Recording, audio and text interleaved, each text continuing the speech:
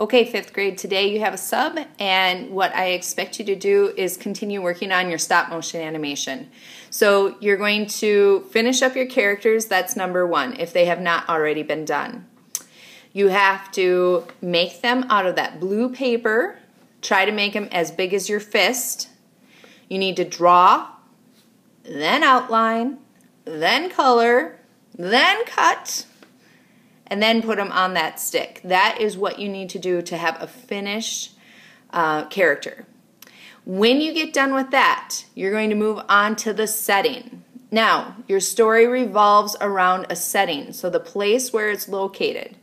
You can make one setting per group, but if your story moves into another setting, you can make two or if you have three people in your group, you can make three. No more than three can be made.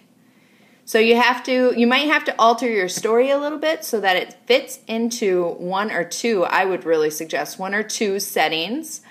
Um, if you're pushing it, maybe three, but that's going to be a lot to get done today. I expect you to be done with your characters and your setting today. When you're thinking about your setting, think about uh, the environment, all the details around, what would you see. Um, you want to use your entire time to make your characters and your setting. You also want to make sure that you get as far as possible on that because you will be um, we will be moving on to stop motion animation the next time I see you. All right. Work very hard for Miss Critch, and um, I may even see you at the end of the class. Okay? Thanks.